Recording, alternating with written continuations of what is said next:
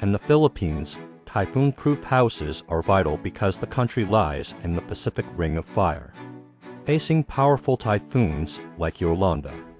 These homes are built to resist fierce winds and heavy rain, offering Filipinos a safe refuge during storms. For security, they lower the risk of injury or death from collapsing structures and protect homes and livelihoods. Easing stress in typhoon season. For survivability, they act as sturdy shelters, enduring a storm's fury to save lives.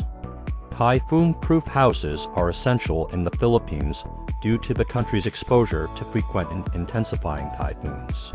They provide critical protection against loss of life, property, and livelihoods offering Filipinos security and stability in the face of disasters like Yolanda.